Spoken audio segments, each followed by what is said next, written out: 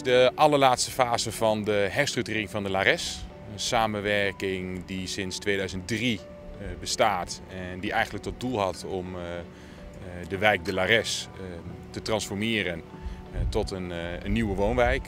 Een woonwijk met, met bestaande woningen en ook 500 nieuwe woningen. En dit is dus het allerlaatste stukje. Ik ben sinds februari wethouder in deze mooie bruisende stad.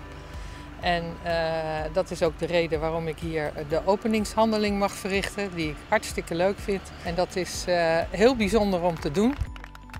Ik weet dat ze in een hele mooie stad gaan wonen, maar misschien komen sommige mensen hier te wonen die al in de stad wonen.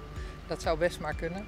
En het is een prachtige plek om zo dicht bij het centrum te zitten, waar ook alle winkelvoorzieningen zijn. We hebben op dit moment 24 woningen verkocht. Drie woningen zijn onder optie en nog drie woningen zijn vrij. Dus als je nog een nieuwbouwwoning wilt hebben op de Lares, ja, dan moet je echt snel zijn, want dit is de aller, allerlaatste fase.